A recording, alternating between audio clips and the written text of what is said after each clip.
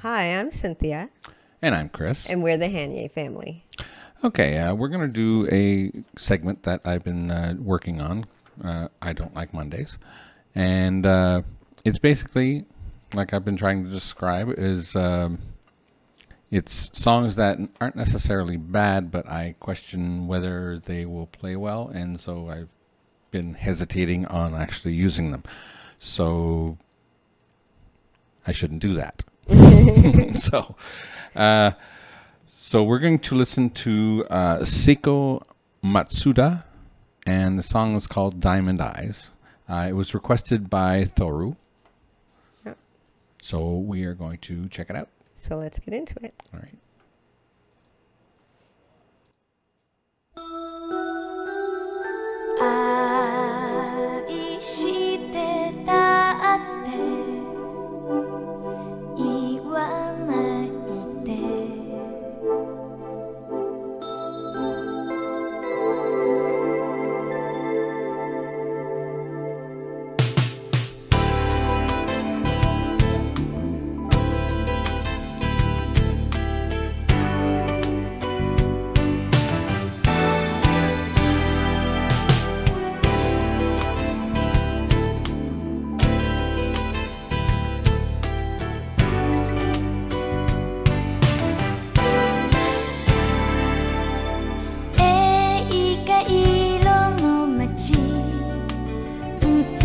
しい日々がキレキレに映る。いつか時計に変わったの。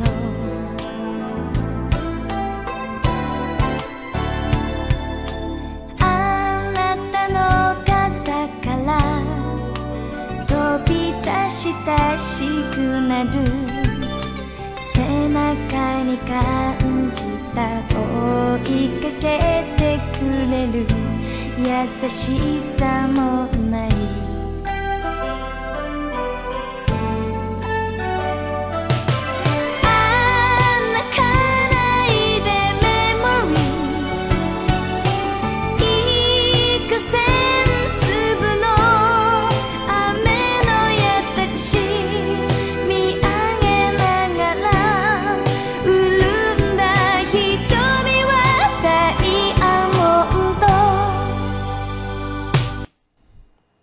This sounds like it's from an anime.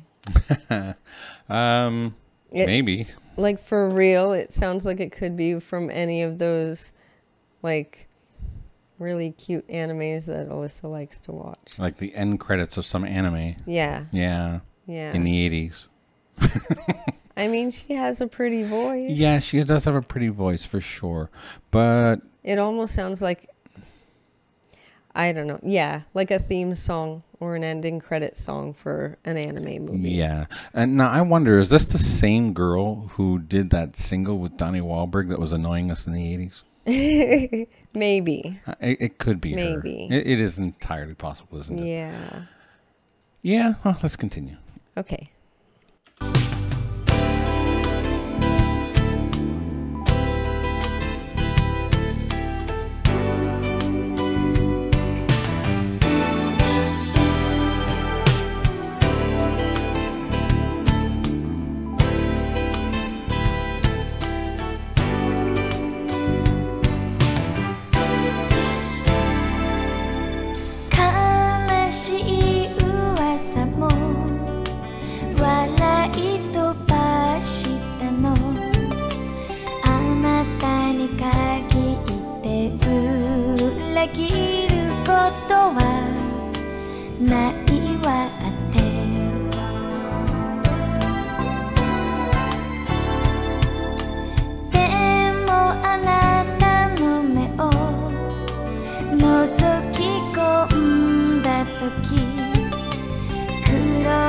雲が降る。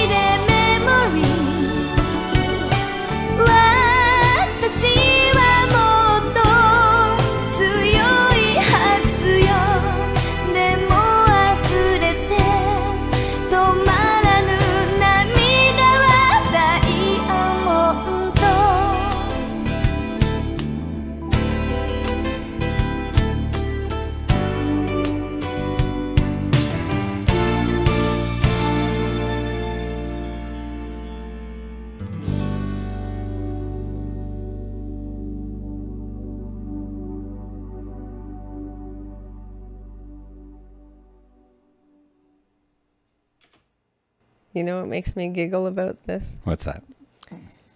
It reminds me of how French people like to sometimes throw an English word in now and then because she's going Japanese, Japanese memories. I was like, what is that? Yeah, well, I don't know.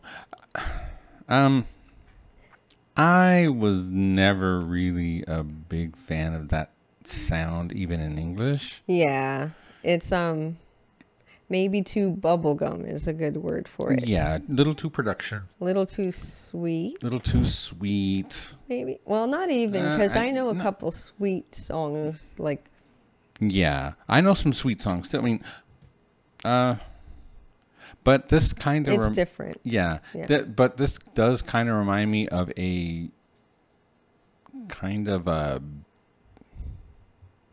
Debbie Gibson. Even Except- softer than a Debbie Gibson. Softer than Debbie Gibson. If it's softer than Debbie Gibson, we're getting pretty soft, right? Yeah. So- yeah. Yeah, I'm. I'm not a big fan of this sound. Wasn't in the '80s. Not even as a DJ. No. Uh, I used to try to avoid this kind of stuff when I was DJing. she has a pretty voice. It's pretty. but and other I- than that, I mean, the song itself is. Now, don't get me wrong. I played Not Debbie. Gibson. I played Tiffany. I was I- obsessed with Debbie Gibson for a little while. Mm-hmm. A little while. Not very long, actually. Well, she wrote. She wrote her own songs. about a year. Yeah, about a year I was pretty obsessed with her, and then I moved past her because I realized that she didn't have that much. Yeah. Yeah. Well, it was just simple music. It was, It a, was- it's a teenager. who When I was mean, come on. 15, I thought it was great, but she was 16 at the time. I mean, Exactly. It appeals to you because Yeah. it's your age group. But uh, I don't know. It just I, I never had a feel for it. I don't have a feel for it now. And uh, and I, I well, it's Japanese. I don't understand what she's saying anyway.